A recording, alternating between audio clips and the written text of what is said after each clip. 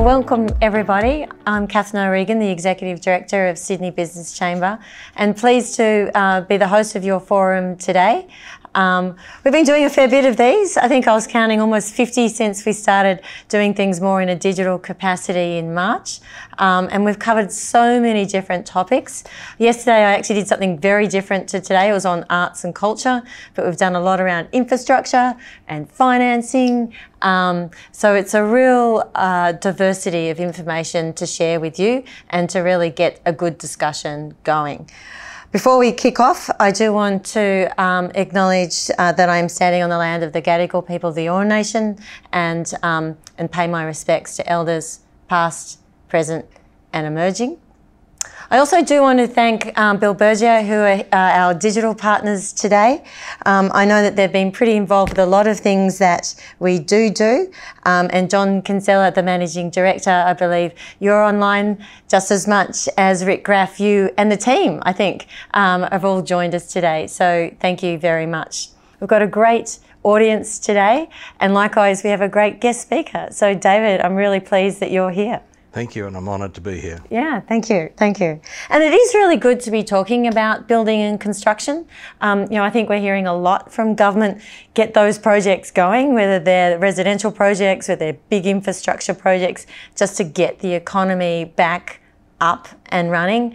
Um, but it is really interesting because pre-COVID, we were, we were very focused on getting the quality there just as much as, you know, getting things done. And so it's um, going to be really interesting, I know, from some of the audience about maybe balancing some of those. But it is fantastic to have you here today. And I know when your appointment came in 2019, you know, it was at a critical point um, and the reform agenda has been a strong one. Catherine, first of all, yes, let me just give you a bit of a background as to what I want to talk to you about.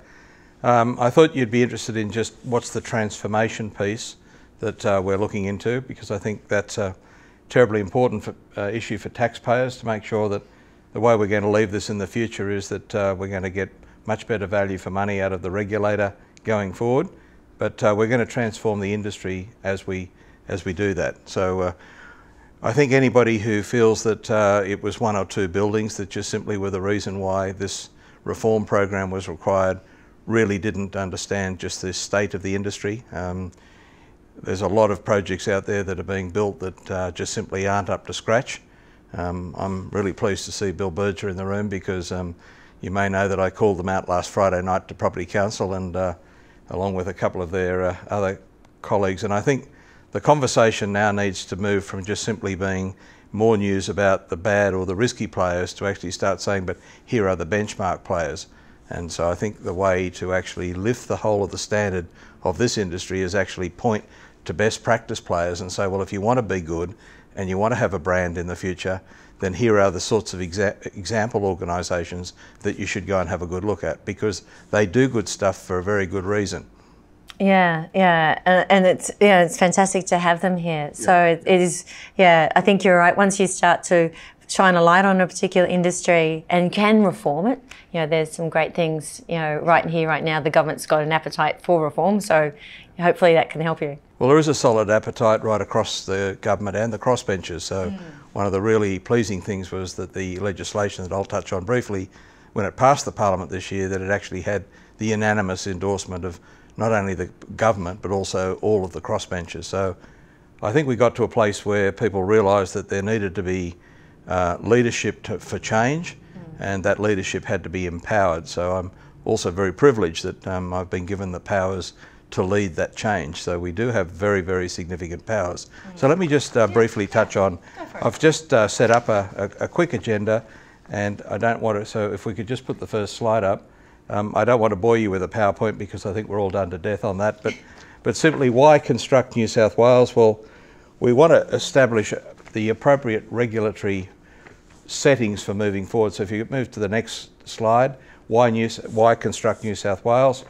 Um, and we're going to share this pack with you afterwards. So if I sort of randomly sort of drift off the reservation, uh, that's okay because we can correct that at the end because everybody can have a copy of the pack. But um, so look, we want to raise industry standards. We want to actually come up with a really viable uh, regulatory framework for the future, but really to have a look and see where are the touch points that industry can change as part of the transformation because all the heavy lifting can't be done by government. So I think all of the conversations that we've had with industry to this point have moved from when I first came in the job uh, in, 19, in 2019 was that there were 30 or 40 interest groups sitting around the table and all of them had a view of the industry through their lens and that was always that the problem was over there and no, none of them really imagined that they were part of the problem.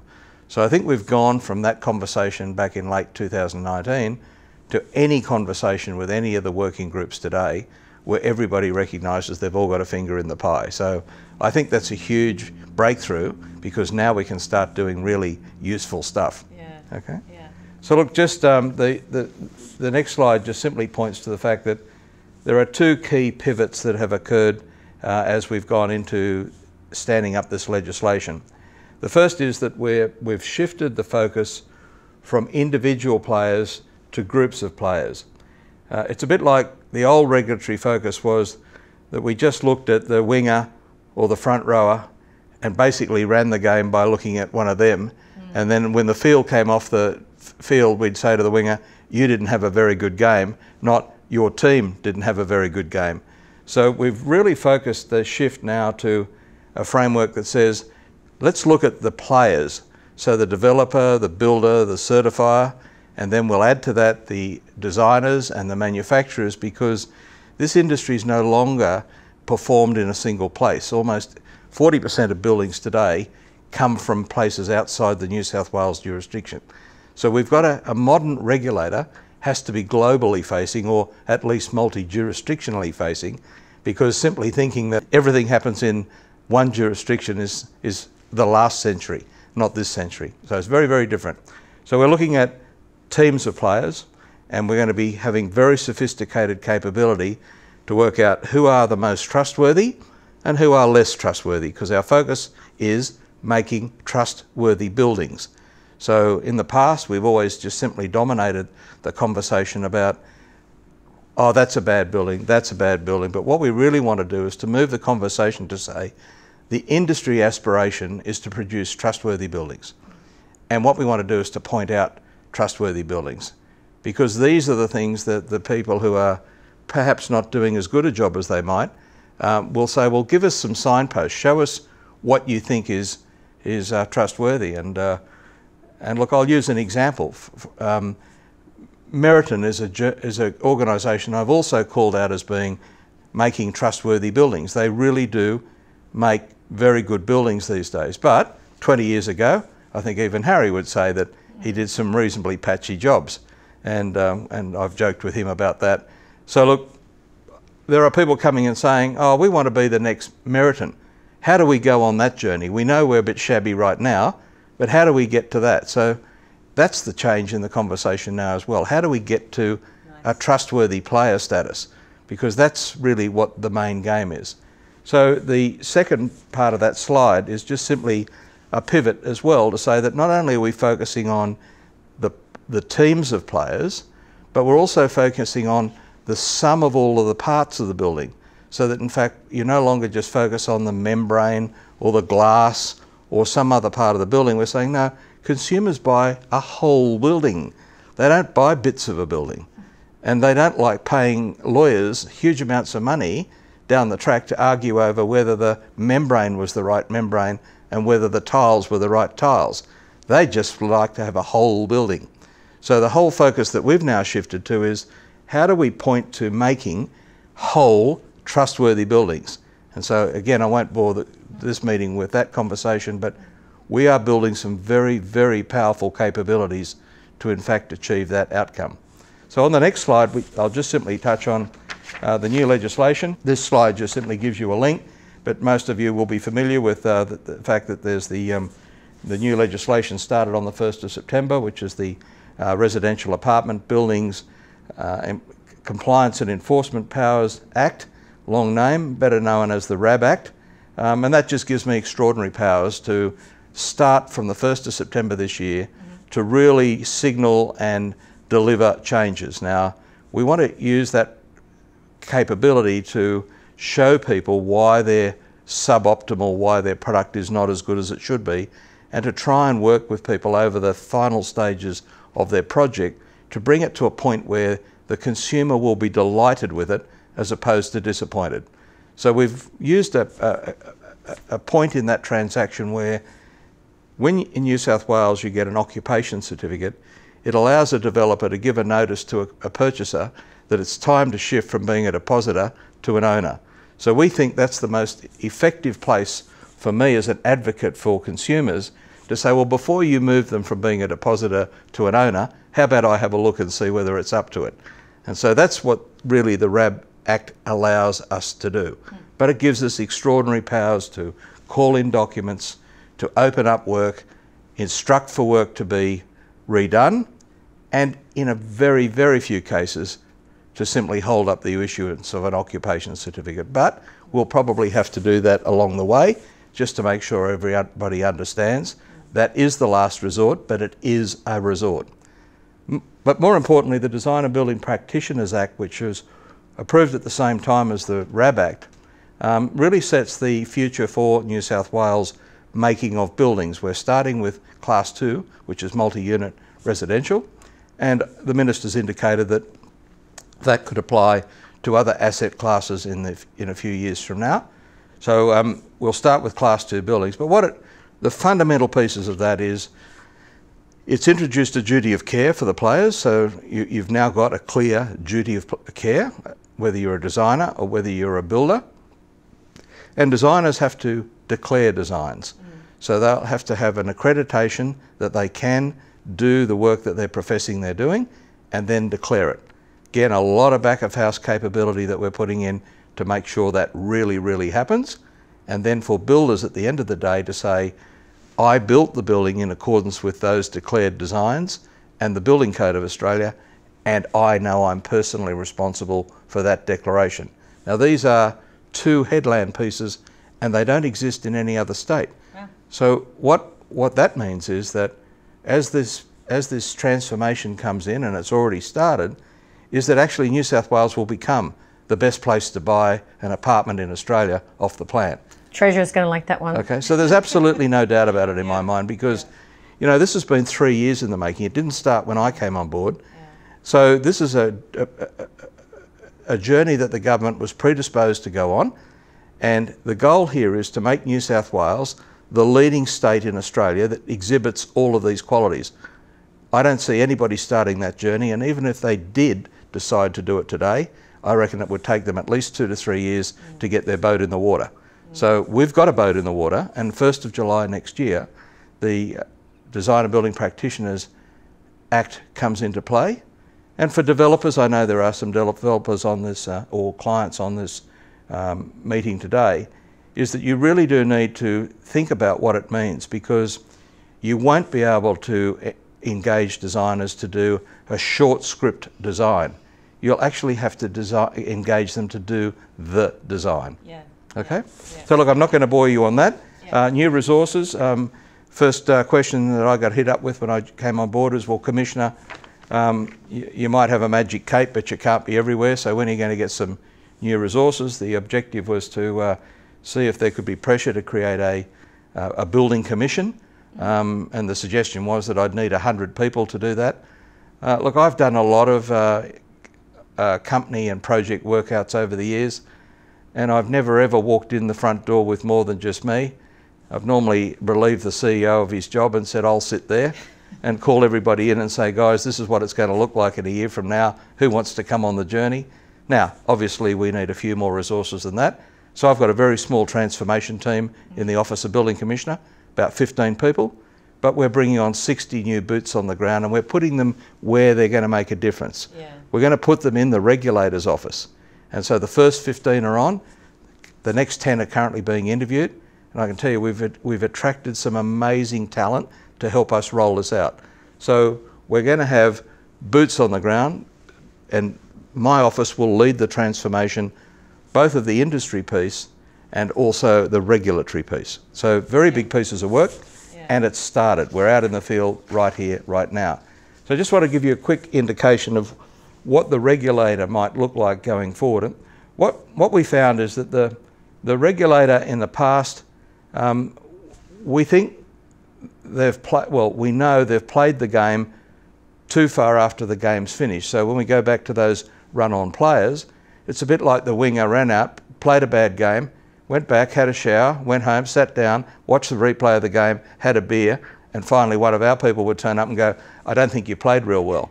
Well, you know, you can't change the game if that's when you're telling the winger. Yep. The game's over. Yep. So what we reckon we need to do is to make sure that the run-on team understands what the goal is. The goal is a trustworthy building.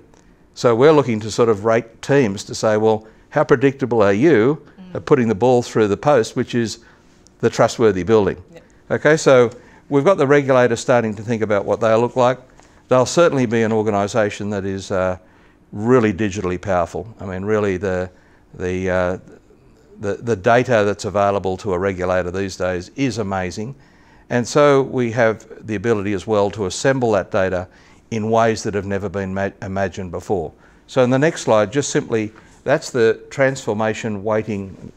So the next slide that you'll see from here shows just simply the current state of the regulator. You'll see that a building typically takes four years to make. It takes about six years to un- unravel if it's going to unravel. Yep. You can see that in the past, all of our effort's been at, after it's unravelled. Um, and in the future, what we want to do is to get ahead of that game. And so that's the that's just a simple explanation that all the resources that what we said were currently sitting at the back of the bus, we want them to move to the front of the bus and drive the bus from the front, not just simply commentated on it from the back. So that is the big piece that's changing in the regulator, and we will deliver a smarter, more able regulator. Now, the next slide just simply says this final two slides in this presentation, I believe, yes, there is, um, just simply that you should never try and do anything unless you can measure it. If you mm-hmm. can't, if you can't say green ball, top right hand pocket, if you're just going to hit the ball and hope, then you're you're a dud. But if you can say I'm going to put the green ball in the top right hand pocket every time, then you look as though you've got a bit of talent. So what we're doing is developing a set of dashboards that are really facing into the key weaknesses of this industry. So we're looking to sort of measure what's the health of structures being built, red, green, amber. What are the state of waterproofing in buildings? Health check, same as that. State of fire installations, state of the building envelope, the enclosure of the buildings, the acoustics in the buildings, and the critical services of the buildings. So we're building a set of dashboards that actually look into how the industry is performing those elements of a building. And the important thing to do about that is, to note is that we're focusing on what's known as the common property of buildings as opposed to the individual lots. So we're less interested in a scratch on a bench top mm. or a smudge on the paint on the wall. That's something that's easy to sort out. Mm. What's more difficult is that if the waterproofing in all the bathrooms is a problem right throughout the building, that's a nightmare. Yeah. Okay, so what we're what we're trying to do is to unpack this debate that was on the table when I came in, which sort of says, oh, 85% of buildings have got defects. Yes, that's fascinating information, but they never unpacked the scratch on the bench top or the smudge on the wall out of that. Yep. What we don't know is exactly how many buildings have problems with bathrooms or wet areas and their structure and their fire systems. So we're, we're going to unpack that and publicly account to the industry and to government as to how we're travelling through improving those elements. So that's a dashboard that we're using for the transition period. And the second dashboard, which really is the final piece that I wanted to share with you, and that is that traditionally, um, owners' corporations have been induced to lawyer up too early.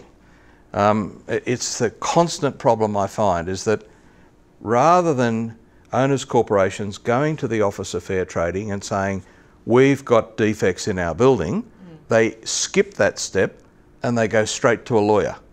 Now, a lawyer immediately put his arms around that. So I invariably get a letter from a lawyer saying, Oh, no need to go there, Commissioner, I'm handling that. Hmm. and I say, Well, that's fantastic. So why don't you come in and talk to me about what does it look like when you win? If you win after spending millions of these people's money, what's it look like? Well, I can't tell you. It's a big process to go through before we know that answer. Well, I'm saying, well, you can't tell me what you're going to achieve for consumers. And that is a real problem because I'm seeing some really horrible exhibits where both sides of any dispute are able to go and find experts.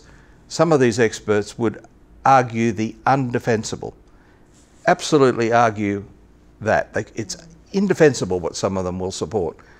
So we are really looking for a message to say to consumers and owners of body corporates uh, and their executives to say, go first to the Office of Fair Trading, make a complaint.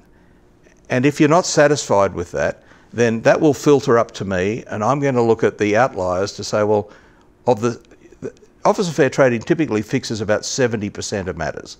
Okay? So in that 30% that's left, mm. there's a place for me mm. to get the attention of the people that perhaps have taken their eye off the ball, mm. which is a trustworthy building. So what we've done is we're actually doing a new set of dashboards that will just, this is a public confidence dashboard. So what we're looking to do now is to map the increasing number of matters that are first referred to the Office of Fair Trading. Mm. And then you'll see on that diagram, the red line is actually tracking a reducing number of matters that go to NCAT. So this is not a good story for lawyers um, because this says that you probably have to take your kids out of private schools yeah, yeah, and get back to the real world or, or go to Queensland or Victoria where they've still got rich litigation going on. And then we also want to reduce the number of matters are going to the court. So we've, mm. you know, I'm told that on some, some occasions, um, strata mattered, strata related litigation takes up half of the list in the support, Supreme Court. Now that's cost the community a huge amount of money just to provide the justice framework, yeah. let alone the cost of getting the consumers into that space. So we want to drive first references up to the Office of Fair Trading.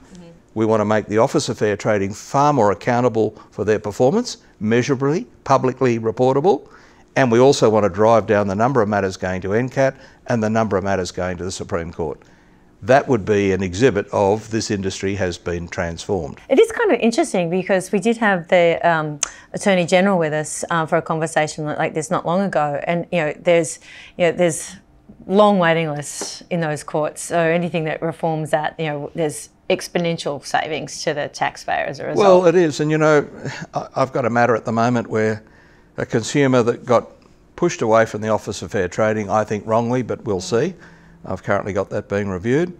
But they went off to NCAT, and the other side's lawyers, the, the defendant, in this case it was a builder, um, managed to get three experts, engineers, to testify that a certain set of facts didn't exist when in fact they did.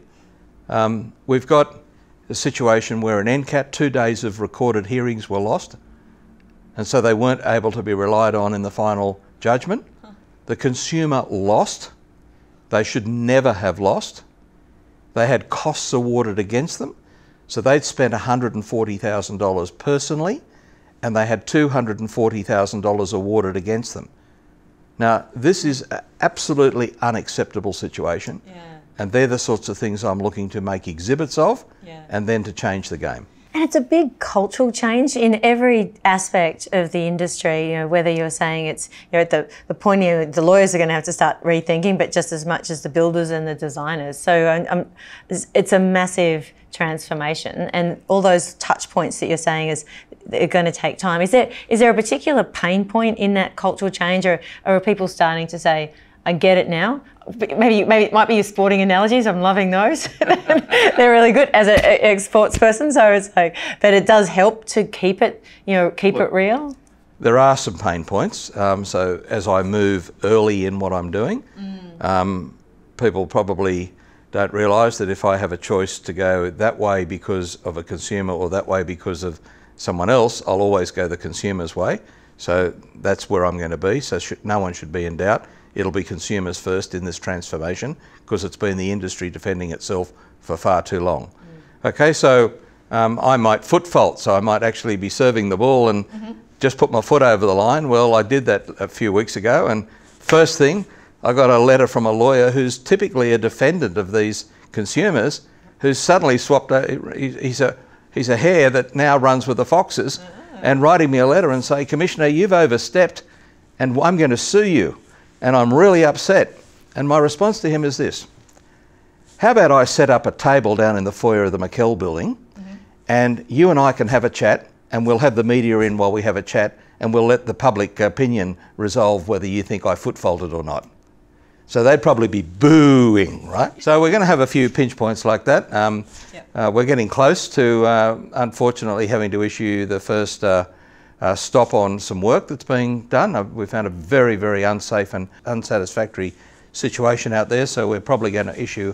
Well, we will we will issue a prohibition order very shortly. Mm. Um, we've got a process to go through, but we've found just something that is uh, an OC that's so close that if this turned into an occupation certificate with this matter unresolved, you can't undo an occupation certificate. So we're, we're going to step in there, right? Yeah. So there'll be some pain points there. Yeah. But look, I think what we're doing is that we'll see many, many more people saying, "Oh, I've got it now. Okay, that's what that's what we've got to do." And it doesn't cost any more to do it right. Mm. That's the thing that really is annoying. Mm. It costs no more to do it right. Yeah, it's interesting. And so you, you, mentioned about the OC certificate. That's coming out of your audit work, is that right? Because yes. that's underway. So, yes. maybe, so where's that going? And it's yeah, and and how's it going? Well, the legislation required that um, every every developer who's got a project that's within six months of completion has to give me a notice on the first two, within two weeks of the first of September. Uh, so we've had uh, 430. So everybody understands we're serious. Mm. I think you'll probably find there might be less than 20 who thought it was clever not to notify, well, there's fines for that, so they'll, they'll, we'll deal with that in due course. But 430, it might be more than that today, but it sort of went up really quickly. Um, and so we now can see a pattern of how many buildings are going to achieve an occupation certificate over the next six months.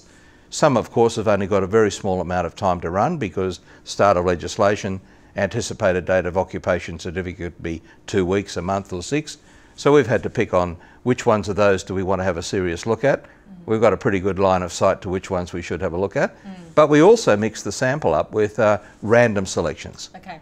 Okay. Because it's the industry wanted to know, don't just pick on one end of the market that you think are all the bad guys. Mm. Make sure that you have a look at what's happening elsewhere to make sure that you've got your line of sight right. So um, we're doing both. We're picking, uh, we're sort of picking those that we think at the fringe, yeah. um, and we're picking a sample of those that we think ought to be all right.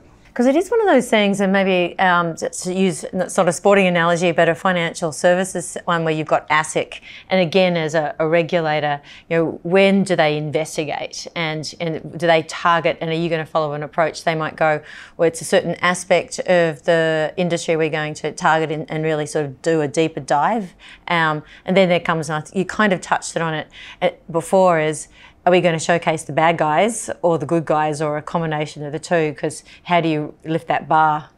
Look, um, I, I don't think it's uh, a, a, good strategy to call out the bad players all the time. I mean, it's a bit like if you've got a child growing up. I remember at some stage my mother used to say to me, David, you are so dumb, you're going to be nothing other than a garbage man. And if, if you hear, if you hear that, if you, no, but if you hear that all your life, you know, in a way, you get conditioned to that. And here yeah, I am, yeah. here I am now at this stage of my life, and I'm putting out the garbage. So, so, she was probably right. Yeah, but yeah. but seriously, I think if we can if we can show the showcase the good stuff, yeah. then that is going to be the way I would like to focus. Yeah. But we will have to use our enforcement powers mm. modestly, mm. but impactively. Mm. Okay.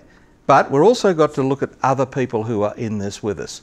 So ASIC, for example, have very, very important powers mm. as a regulator. Yep. So too many matters die as soon as you've come up by paying the last of the creditors. Mm. And the fact that really unsatisfactory behaviour of directors occurred to get it there. Mm. Now, some companies go broke because of circumstances beyond their control, but some companies actually have that as a business model. Yeah. They're called phoenixes. Yep. Now, I think ASIC has got a lot more to do in this space. Hmm. So I've picked a matter yeah. and I'm in the process now of assembling it such that there's an unavoidable challenge to ASIC to say, okay, what are you going to do about this one? Yeah. yeah. And I'm not going to let it go.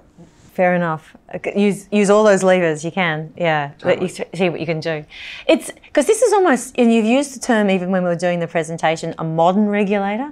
You know, and it's interesting because it uh, it, uh, you know, maybe what are some of the things that would really characterise that modern regulator? You've touched on pieces, but you know, is there you know those three things or three critical things that a modern regulator would do as opposed to a I don't know, an unmodern. Um, I'll, I'll, create words for you. Well, a, a relic of the last a century. A relic of the last century. yeah, yeah, yeah. Look, um, it's it's funny that today I just happened to be going to a meeting this afternoon, which is the first of the business transformation meetings with the regulator. Mm. So we've set ourselves a goal that says, well, the legislation requires that by March 2022 that I go back to the Parliament yeah. with a business plan and business case to say this is what the future regulator will look like. Mm. So it struck me that when I came in, how we continue to regulate around the way that the industry has always operated.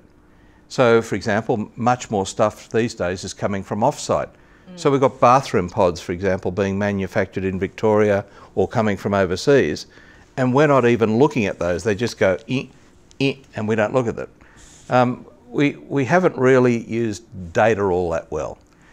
So I think we also then need to say, well, in, within five years from now, what will a building be different to what it's like today? Well, I believe we're on a very rapid journey to buildings becoming smarter. I think buildings are dumb. At the moment, you put a panel on a wall and it doesn't come with any intelligence. But within two or three years, we're going to have a panel go onto a building wall that's got a piece of uh, a chip in it that's able to tell whether it's too hot, too cold, it's leaking, or whatever. So progressively, the Internet of Things is going to see buildings become smart. Yep. So I don't think we've anticipated what a smart building is. And if you start to look at, you know, what's the nearest thing to a smart thing, you'd say, well, it may be a robot. And so, what are the global trends to looking at how do you regulate a robot.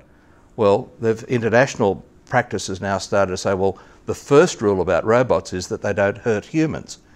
So maybe that's a pretty good starting point for a building is to say, well, a modern building should not hurt humans. That's a good place to start. okay, you might get the trust then. See where we go. It's fantastic.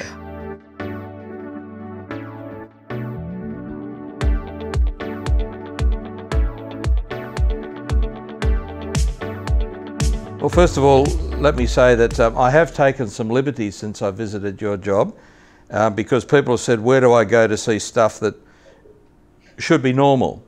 And one of the things that I noticed on your job was um, the use of QR codes in the apartments. Now, um, I had not seen this before. I suspect, I suspect there's others, probably mm. dozens of others that have this. But one of the things that if you buy a project in the roads development is that you'd be able to put your phone over a QR code at the doorway and it'll produce the floor plans for the apartment and a manual and all of the details that are uh, relevant to that apartment.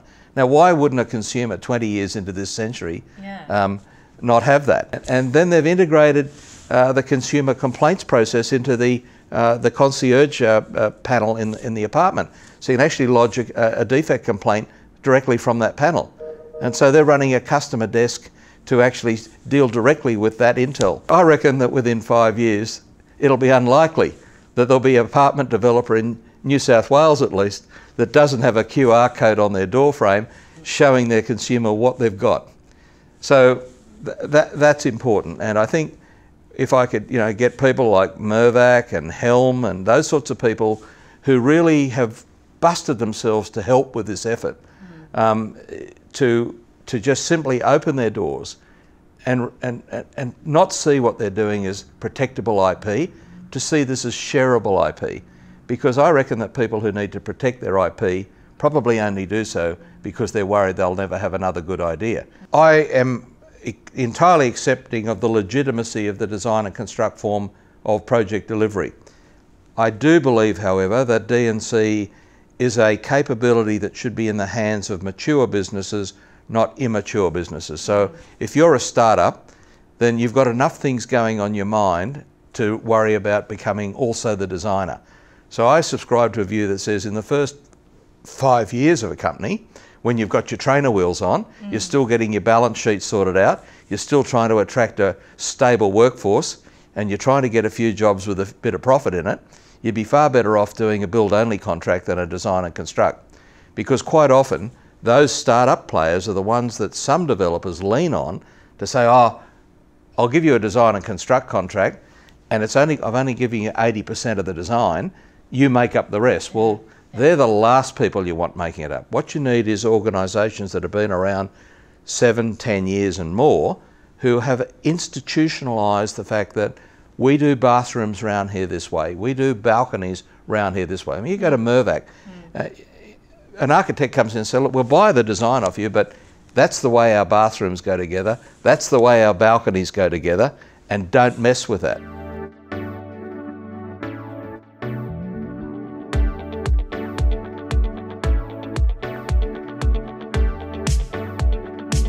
Look, Peter, it's a complex uh, question, and um, I'm not going to try and respond to your specific uh, example because um, you'd need to know a lot more about it. But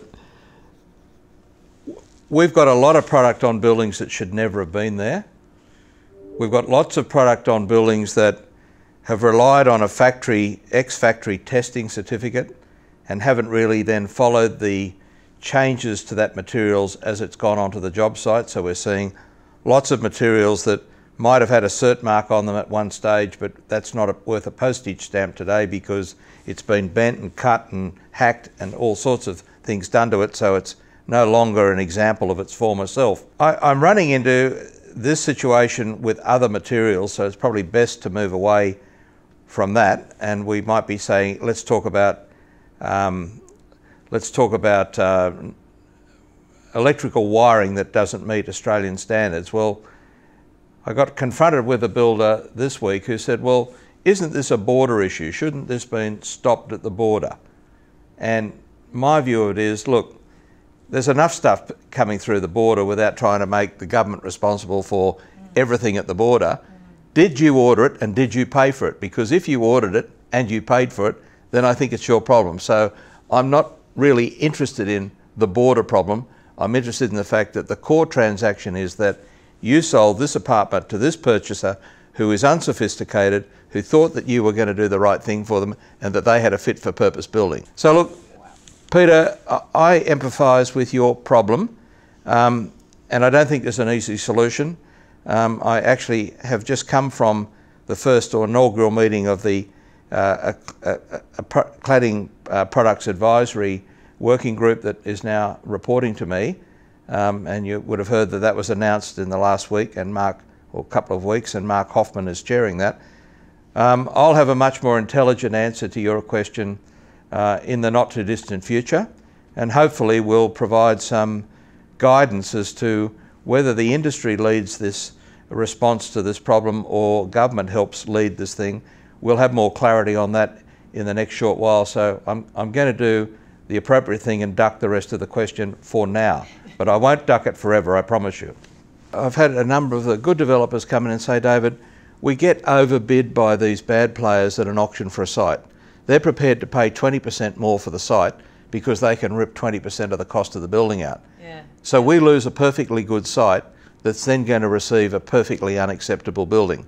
Now these are the people that Peter competes against. Mm. What I've got to really do is to, is to say, Peter, my goal is to level up the playing field so the people that do the right thing are not undermined by people who are prepared to do the wrong thing. Yeah, yeah, I agree.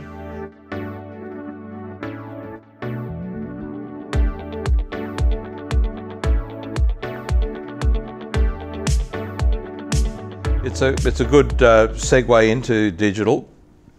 Uh, you'll need a digital capability to lodge declared designs into the e-planning portal. Uh, one of the challenges, though, that we are dealing with is that only the top 5% of the players of the industry work in a BIM space, and I think that over prescribing the use of BIM too far down into this industry would be probably unviable and maybe even undesirable. We do need to understand what the digital part of the industry is going to be because buildings are going to have a digital twin yep. and, and the people who make them will have a digital twin. So that's one of the things that they'll realise as we stand up the new licensing platform is that whenever they go and lodge a drawing now on the e-planning platform mm. from the 1st of July next year, they'll have to go off to the licensing platform, identify themselves and get a one-time digital chop and use that to lodge the drawings. So not only will buildings have a digital twin, the people who draw, design them and build them will have digital twins. We are 20 years into this century. It's about time we started to get on the page. I do want to thank you, David, for coming. Um, sounds like you are kicking goals. It, it does take time, and I think there's uh, the agenda there is, as I said, strong. It's robust you've got industry players here who are you know pretty supportive. Um, so you, are definitely doing something right. Uh, so thank you, and thank you everybody for joining us today. And and as I said, we'll share the presentation from David. We'll share the video with you, and um, and I'm sure that you'll hear a lot more from David in the future.